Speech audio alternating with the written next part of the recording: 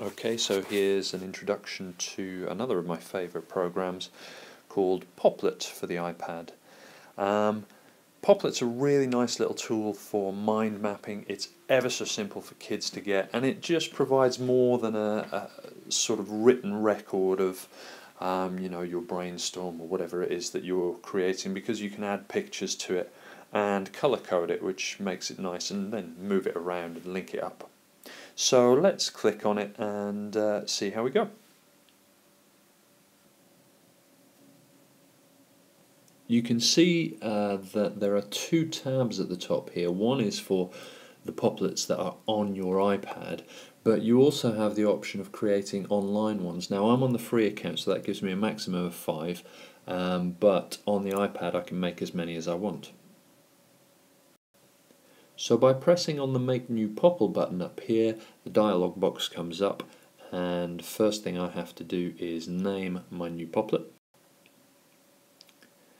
And then I have to pick a colour, so in this case I'm going to change the blue to red over here. And then I press make it so and we're off. So this is the initial screen we get to and if you double tap the screen what we get here is this little popplet. That's the basic uh, unit if you like of popplet, one popple. I don't know what the plural is, I imagine popples or popli. Tap on it and you will get the dialog box around the side. So there are four key areas here which we'll introduce you to one by one. The first one here changes the colour of the popple box. So you've got these very basic colours.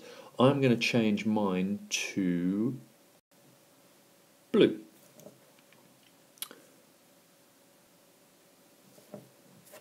The next uh, area that I can touch is this T and that obviously brings up a text tool.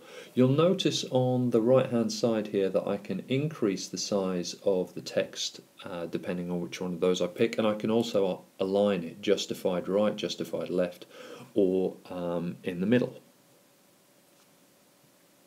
Having done my popple, let's make another popple and use some more of the features.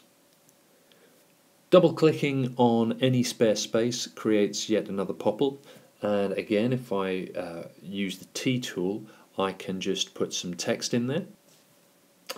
I've written my text in the second popple and the main thing that Popplet is really good for when you're mind mapping is the ability to link your ideas in various different ways. And the way we do this is by these grey buttons on all four sides of the popplet. All I have to do is touch one of these and stretch it out to the other popple I want to connect it to and you get an immediate line straight away.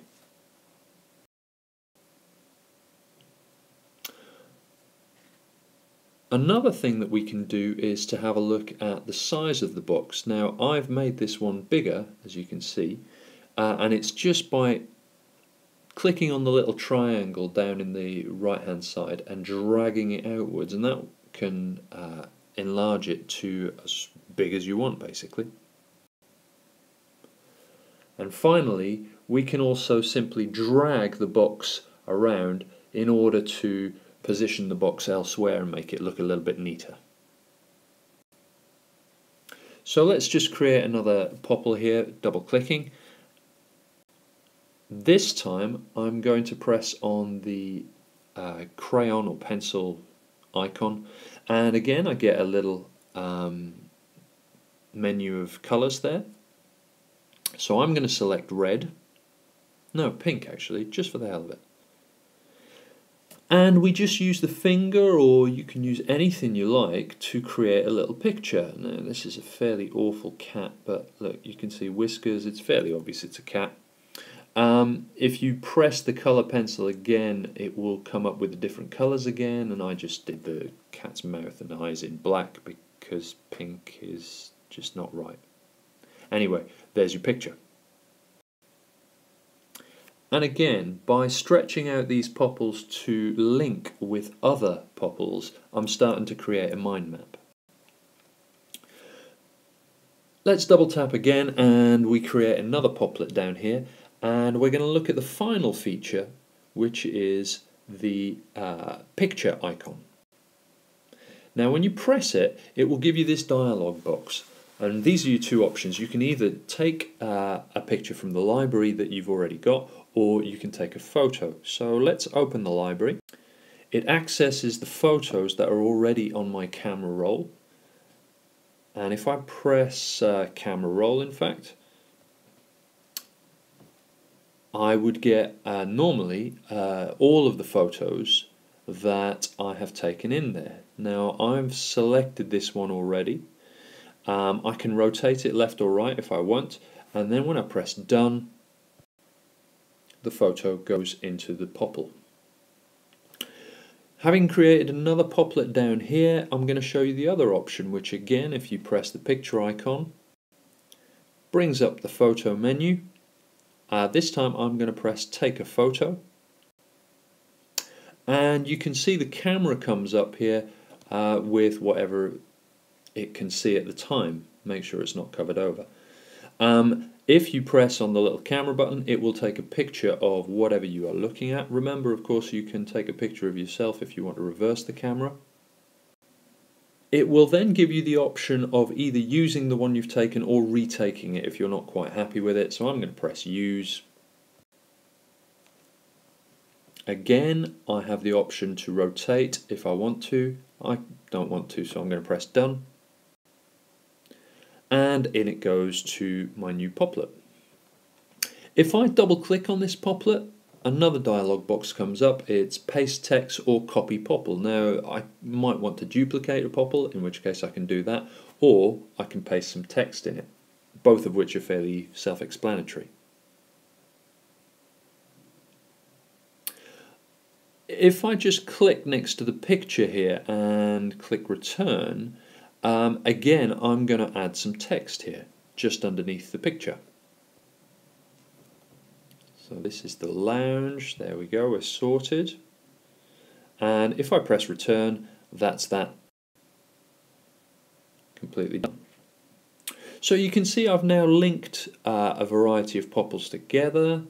So I've got some idea of a mind map, but at the moment I can't see everything. In order to see everything, we need to come up to this button up here, View All, and if I press that, it allows me to see everything that I've created in one go. Some other in interesting functions you might like to look at up here are the lock button, so that you cannot move any of your popplets anymore. You can change the background color using this one here. And the settings button means it gives you access to certain new settings like making a new one or multi-selecting popples or selecting all popples and it just makes it easier to shift those around if you want to do that. Finally if we go to the export button in the top right hand side this gives me the option to uh, export it in a variety of formats. So you can see here I can email it as a PDF as a JPEG or I can just save as a JPEG and if I do that one it will go straight to my camera roll. I'm going to select email PDF and you can see the email dialog box comes up straight away with a representation of my popplet there and I just fill in the address and we're ready to go. So that's how easy it is to use Popplet. I hope you've enjoyed it and make use of it for all your mind mapping needs.